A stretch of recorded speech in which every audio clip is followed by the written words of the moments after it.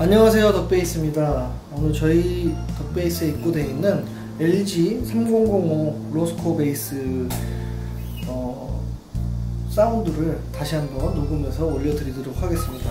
악기 무게 자체는 상당히 가볍고요. 로스코라는 악기 자체가 워낙 그 핑거와 미들 그 되게 음역대가 고르게 나면서 안정적인 사운드를 내주는 것으로 유명한데 어, 한때 로스코이 굉장히 유행을 많이 했었고 지금도 뭐 너무나 훌륭한 베이스입니다. 이 악기가 악기 시장이 너무 가격이 상승한 거에 비해서 이 악기 상태도 너무 좋고요.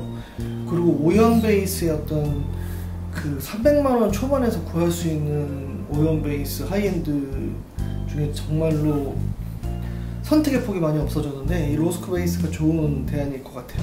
지금 펜더 프로페셔널 오현이 400이 넘어가는 걸로 알고 있는데 어, 물론 뭐그 악기도 훌륭한 악기지만 이 악기 자체의 어떤 quality나 여러 가지를 감안했을 때 소장 가치도 있고 일단 뭐 상태가 너무 좋습니다. ash body에 ash body에 rosewood 네, 되게 그 무난하게 어, 사용할 수 있는 악기고요. 어, 일단 사운드 샘플 한번 감상해 보시고요. 이 로스코만의 묵직한 그 베이스 톤을 보시면서 아 오현 베이스를 한 대 구입하고 싶은 분들에게 좋은 선택이 될 것 같습니다.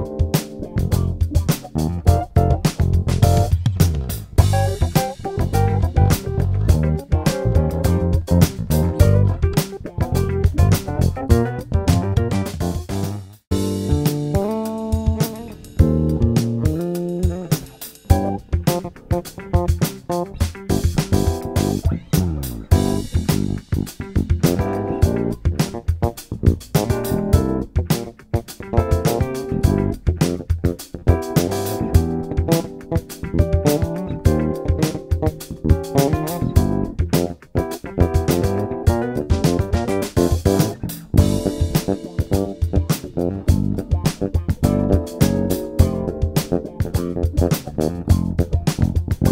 you.